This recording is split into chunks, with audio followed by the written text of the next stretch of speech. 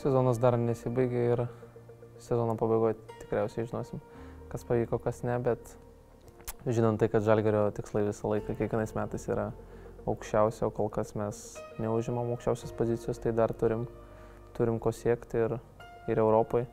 Dar esam žaidime, nepriklausomai nuo to, kokius varžovus turim.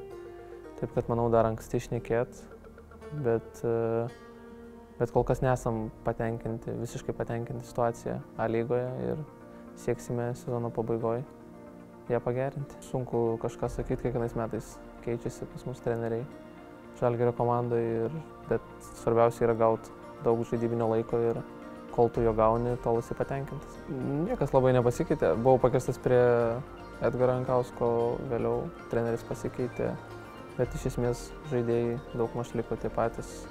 Nematau kažkokių tai esminių skirtumų, nes visas kolektyvas, visa atmosfera jinai nesikeičia, taip kad nieko naujo.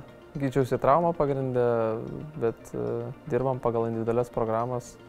Aišku, karantinas nėra malonus dalykas tiek, uh, tiek mums sportininkam, tiek uh, žmonėm, kurie dirba įprastus darbus, bet reikia kentėti ir laukti, kada tai pasibaigs ir kada galėsim pradėti treniruotis. Tai jisai kiek prailgo, bet džiugu, kad, kad mes išlaukėm. Nusikos visą laiką pozityvios, nes pradedam, pradedam nuo nulio ir prieš pirmas varžybas visų šansai lygus. Tuo labiau, kad, kaip treneris sakė, jeigu mes esam C divizione, reiškia, esam verti čia būti ir varžovai daug maž panašaus lygio. Taip kad, manau, turim neblogų šansų. Įprastus veidus jūs daugiau formuojat, o mums žaidėjams tiesiog yra rinkinė, yra 23 žaidėjai ir nesvarbu, kokios pavardės atvažiuoja, mes neturim savo, savo lyderių čia viduje, jūs formuojat juos ir jūs formuojat įprastus veidus, taip kad mums tai viskas įprasta, niekas nepasikeitė.